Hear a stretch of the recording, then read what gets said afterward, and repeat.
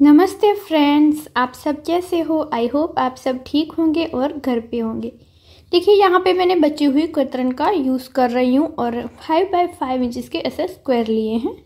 इसे हमें ऐसे फोल्ड करना है और सेंटर में से कट करना। इससे पहले मैं थोड़ी सी फिनिशिंग दे दूँगी। अब हम सेंटर में से कट कर लेंगे। देखिए ये मैंने दो कलर में लिया है। पिंक, आप अपने हिसाब से कलर कॉम्बिनेशन ले सकते हैं। और, जितने भी कतरन है, उससे आप अलग अलग कलर का भी बना सकते हैं। तो यहाँ पे देखिए, इस तरीके से मैंने कट कर लिया है। अब यहाँ पे हमें इस तरीके से रख लेना है।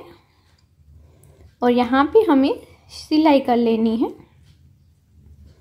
यहाँ से लेके यहाँ तक। देखिए, इस तरीके से हमें सिलाई करनी है। तो ये हमारा सिलाई हो चुकी है। अब जो सारे थे उसको भी हमने उसी तरीके से सिलाई करके ऐसे जोड़ लिए हैं, देखिए। अब अब हमें क्या करना है, देखिए, इस तरीके से ये जो दोनों स्क्वायर है, उसे हमें स्टिच करके जोड़ लेना है। तो ये जुड़ चुका है। अब, ऐसे मैंने फोर स्क्वायर को जोड़ के ऐसी बॉर्डर बना ली है तीन। अब इसे भी हम जोड़ के सिलाई कर देंगे। इस तरीके से अब अब तीसरा जो हमारा पार्ट है, उसे भी जोड़ लेंगे।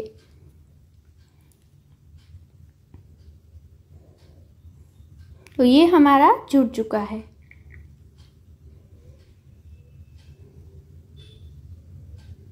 अब मैंने इसी के नाप से फॉर्म कट किया है और नीचे सिंपल सा कुर्ती वेस्ट का कपड़ा यूज़ किया है और इसे पूरे राउंड में स्टिच करूँगी। और दोस्तों, अगर आपको फॉर्म नहीं लगाना है तो आप ऐसे जो पुराने कपड़े होते हैं ना, उसकी दो चार लेयर नीच, अंदर की ओर रख दीजिए और फिर इस तरीके से स्टिच कर लीजिएगा।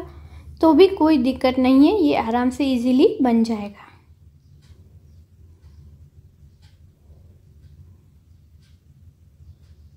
तो देखिए, यहाँ पे हमने जोड़ के अच्छे से सिलाई कर ली। अब मैंने ये बड़ी लंबी सी इस क्रॉस में कट की हुई पाइपिंग ली है और यहाँ पे ये जो कॉर्नर है, वहाँ पे हम थोड़ा सा राउंड शेप देंगे। आपको स्क्वायर रखना है तो वही रख सकते हैं। अब इसे देखिए, यहाँ से स्टार्ट करना, कहीं से भी आप स्टार्ट कर सकते हैं और नीचे की ओर रखना है, फोल्ड करके और पूरे राउंड में हमें सिलाई कर लेनी है। और दोस्तों, आपको ज़रा सा भी वीडियो अच्छा लगे, उपयोगी लगे तो प्लीज़ लाइक शेयर कमेंट ज़रूर करना दोस्तों। अब देखिए, यहाँ पे मैंने ये दोनों, जहाँ पे हमने स्टार्ट किया था, वहाँ पे से कट करके पाइपिंग को ऐसे लगा दिया है। अब इसे ऊपर की ओर लेना है और ऐसे फोल्ड करना है और इसके ऊपर सिलाई कर लेनी है।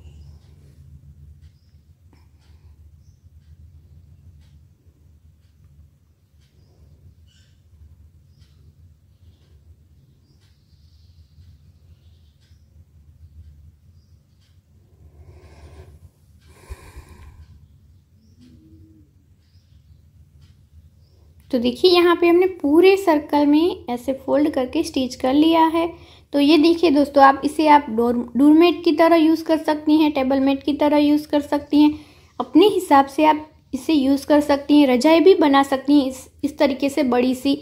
तो दोस्तों, आज के लिए इतना ही, मिलते हैं नेक्स्ट वीडियो में। तब तक के लिए बाय जय भारत।